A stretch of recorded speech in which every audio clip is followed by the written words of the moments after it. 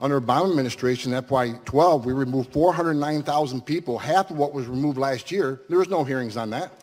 So I, I, you know, if this is about transparency. Let's be, let's be factual about it. But be honest with the American people. You, you can't point out faults in the Trump administration when it happened Mr. under Obama Homan. administration. That's dishonesty.